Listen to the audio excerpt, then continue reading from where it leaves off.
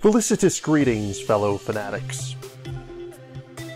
Welcome back, ladies and gentlemen. I'm Adam the Fanatic, and today we're taking a look at EX Zodiac, a Star Fox-inspired on-rails flight sim by Pixel Jam. Please keep in mind that this is a preview based off of an early access release. As such, nothing herein is finalized, and anything seen herein is subject to change. In EX Zodiac, you'll take on the role of Q, an ace starfighter pilot that has to take down a group of interstellar terrorists. As this flying monkey, fly! Fly! it's your job to defeat the diabolical organization known as Zodiac. The basic gameplay of EX Zodiac will have you flying around to dodge obstacles and enemy attacks while firing lasers to destroy them. In addition to your standard rapid fire laser attack, you can also hold down the attack button to lock onto enemies and launch multiple missiles at once. You're limited to 3 at first, but over the course of the level, you can collect upgrades that will increase this limit. In addition, you may come across similar upgrades that can repair some of your shields, increase the strength of your basic lasers, or give you additional bombs. As for the bombs themselves, you'll have a handful of these that you can launch, each creating a massive explosion that damages all enemies caught within it. Great for dealing with large numbers of foes at once. You'll also be able to boost or brake to alter your speed for a short period of time, and you can also, you guessed it, do a barrel roll to momentarily deflect laser fire.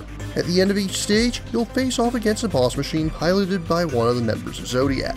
Each of these has multiple stages to them, and they all play quite uniquely from one another.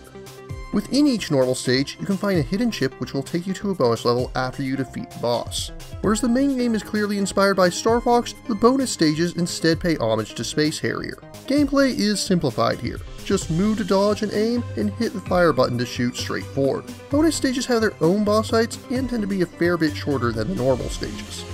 Presentation wise, the game looks great. It very much captures the feel of the Super FX chip. Although I should note for retro purists that there's no way this game would be able to run on actual SNES hardware. Although it certainly captures the feel and aesthetic of the original Star Fox, there's a lot more going on screen at once, not to mention that even with the limitations that Star Fox played to, it still had to deal with a great deal of slowdown. EX Zodiac has none of those limitations, and is more focused on capturing the artistry rather than being a genuine SNES game. Story-wise, I've already told you all that you need to know. There's not much else to say at the moment.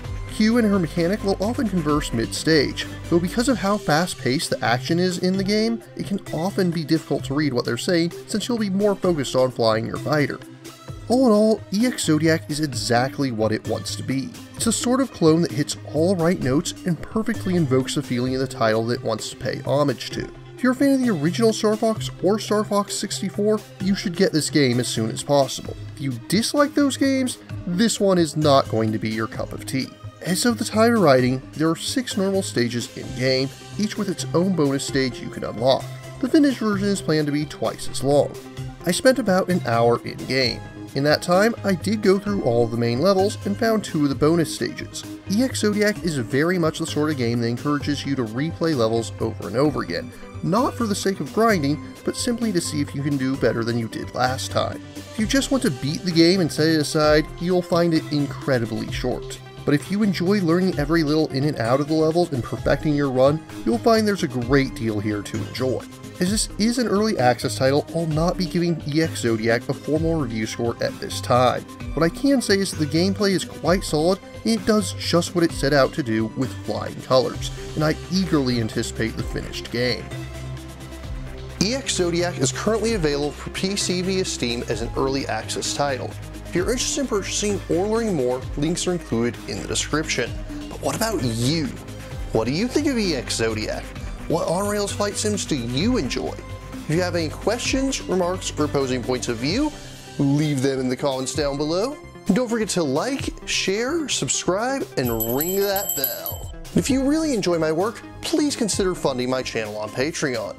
Until next time, farewell, fellow fanatics.